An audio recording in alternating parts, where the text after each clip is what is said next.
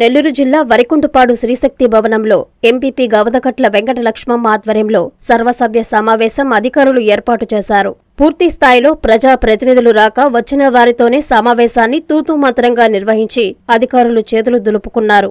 ప్రభుత్వ ఆదేశాల ప్రకారం మూడు నెలలకు ఒకసారి సర్వసభ్య సమావేశం నిర్వహించాల్సి ఉంది. అయితే ప్రతిసారి జరిగిన సర్వసభ్య సమావేశానికి అధికారులు సక్రమంగా హాజరు కాలేదని ఎంపీడీఓ చేవూరి శ్రీదేవి ఈసారి సీరియస్ అయ్యారు. తాను రెండు కోణాల్లో మాట్లాడుతానని ఒకటి సూటిగా రెండవది ఇండైరెక్ట్గా మాట్లాడుతానని అధికారులకు హెచ్చరించారు. పిల్లవాడిని అరిస్తే పెద్దవాళ్ళు తెలుసుకుంటారనే విధంగా మాట్లాడుతానని దానిని ప్రతి శాఖ అధికారులు గుర్తించాలన్నారు. ప్రజలకు పనులు చేయడానికి ప్రభుత్వం జీతాలు ఇస్తుందని తెలిపారు.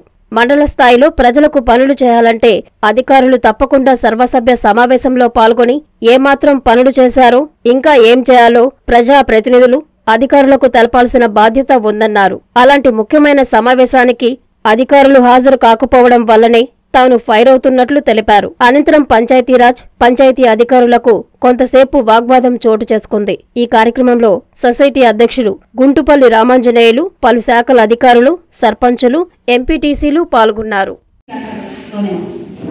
అలాగే ఆత్మకూరు ఎస్సీ చా- ఎస్సీ గారి చేత రోజు మార్చి రోజు మాట్లాడతాను నా ప్రాబ్లమ్స్ నాకు నా లేఅవుట్లో సరే హౌసింగ్ ఏ గారు లేరండి వాళ్ళ వర్క్ ఇన్స్పెక్టర్ గారండి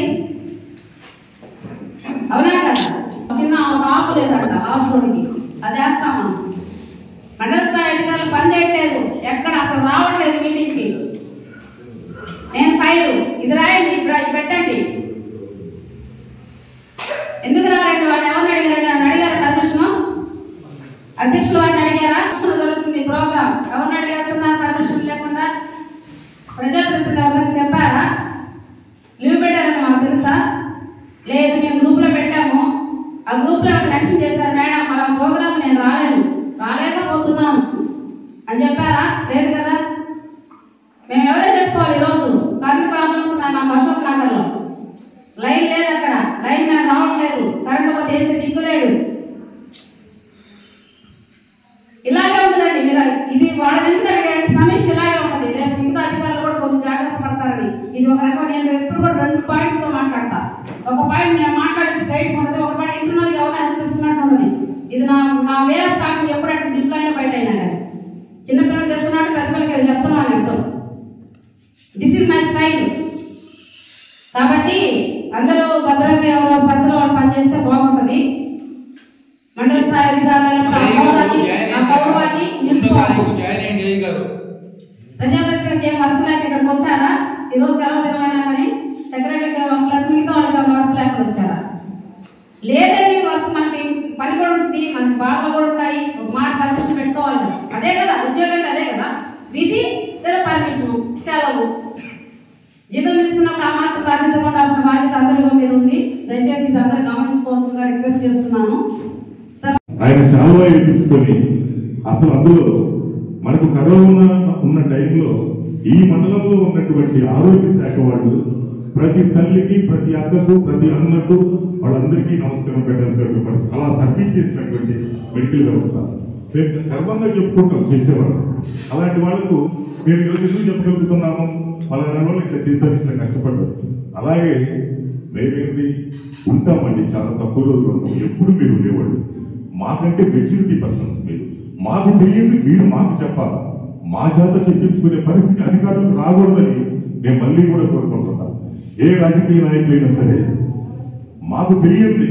లేదు ప్రజలు ఏదైనా మేము కన్విన్స్ చేయాల్సింది ఏదైనా ఉంటే మీరు మాకు చెప్పాలి తప్ప మీరు రాలేదు అని చెప్పి మేము వచ్చి మిమ్మల్ని అడగటం అనేది మీరు చాలా సోషల్గా ఉంటారు.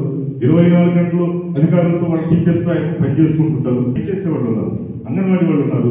ఆమె ఉంది. ఆమె కష్టపడి పనిచేస్తుంది ఇట్లా చెప్పుకోవడానికి చాలా మంది ఉన్నారు. అంటే మనం కొనియాడొచ్చు కూడా వాళ్ళకి తప్పులేదు అలాగే స్వచ్ఛందంగా ఎవరు వర్క్ చేసినా వాళ్ళందరికీ హృదయపూర్వక నమస్కారాలు తెలియజేయాల్సింది. ఇక్కడ మేము వచ్చింది మేము మాట్లాడగలిగేది మీ పనితీరు పక్కన పెట్టండి ఒక నిమిషం. మీరు మీరు ఐక్యతగా ఏదైనా సమస్య ఉంటే మీ పై అధికారులకు తెలియజేసుకొని సమన్వయంగా మీరు పాలన సాగించడానికి మీరు నడుం బిగించాలి. కానీ ఇలాంటి సర్వసభ సమావేశాల్లో మన పత్రిక ప్రజలు ఉంటారు. మనకున్న చిన్న చిన్న విషయాలను ఇంతకి అంటే ఇంతకింతకి వాళ్ళు తప్పు రాస్తారని కాదు. కానీ ఎక్కడ కూడా ప్రజలు మనం సరైన పాలన అందిస్తున్నామా లేదనేది అది మీరు మీకున్న అధికారులతో మీపై అధికారులతో మీరు మాట్లాడుకొని సమస్యను పరిష్కారం చేసుకోలేకపోగా ప్రజలకు తెలియజేసేటువంటి సదస్సుల సమావేశంలో ఆవేశం పట్టడం కూడా కృష్ణానంద కాదేమో. మీ బాధ నీకు ఉంది ఆ సమస్యను పరిష్కరించుకుందాం. ఏ ప్రాబ్లం లేదు. కాకపోతే ఏంటంటే కొన్ని ఇక్కడ చెప్పాలి కొన్ని ఇట్లా చెప్పాలి చెప్పే కొన్ని కారణాలు ఉంటాయి. అది కూడా దానికి గౌరవం ఉంటుంది. విమర్శ కూడా సద్విమర్శగానే ఉండాలి. అలా నేను వయసులో పెద్దోడివి నీకు చెప్పేంత వయసు నాకు ఉందో లేదో నాకు తెలియదు. కాకపోతే ఏంటంటే పద్దెనిమిది శాఖల అధికారులు ఉంటే మేడం గారు ముందే చెప్పారు ఈ పరిస్థితి ఏంటని. దాదాపు ఎనిమిది పది శాఖల అధికారులు డుమ్మాగొట్టే మా ఎంపీడీ కొడుకున్నారు ఇరవై నాలుగు గంటలు ఆమె కష్టపడుతూనే ఉంది. ఆమె కష్టపడాలన్నా కింది స్థాయి అధికారులకు ఉపయోగపడితేనే కదా ఆమె కష్టపడడం వల్ల ఫలితం ఉండేది. ఆదివారం పని చేయనప్పుడు ఆమె కష్టపడి మాత్రం ప్రయోజనం ఏముంది? ఆలోచించండి. ప్రతి అధికారి ఏ పని చేయాలన్నా కింది స్థాయి అధికారులు పూర్తిగా వాళ్ళకు అందుబాటులో ఉండి సక్రమంగా వాళ్ళ పనులు వాళ్ళు నిర్వర్తించగలిగితే అది గౌరవం మర్యాద ప్రజలకు మంచి పాలన అందించిన వాళ్ళం అవుతాం. సరే టైం అవుతుంది.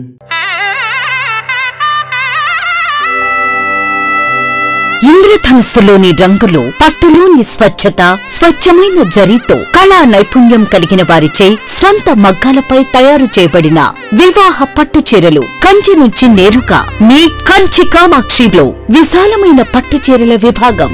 వేల రకాల పట్టు చీరలతో కొత్త రంగులతో అతి తక్కువ ధరలకే మీ ఇంట వివాహాన్ని మధుర జ్ఞాపకాలుగా ఉండేలా పట్టు వర్ణాల కొలువు. కాంజీవరం పట్టు sarees Dharmavaram tissue sarees pen kalamkari digital పట్టు సారీస్ ప్యూర్ జార్జెట్ పట్టు సారీస్ వైవిక పట్టు కామాఖ్య పట్టు రాజవంశ పట్టు రాగసూత్ర పట్టు వసుదైక పట్టు అక్షయ పట్టు వైదిక పట్టు సారీస్తో వైభవంగా ఆహ్వానిస్తోంది మీ కంచి కామాక్షి. చుడిదార్స్ గాగ్రాస్ లెహెంగాస్ వెస్టర్న్ వేర్ కలెక్షన్లతో విచ్చేయండి Kanchi Kamakshi. Magunta layout mini bypass Nellore.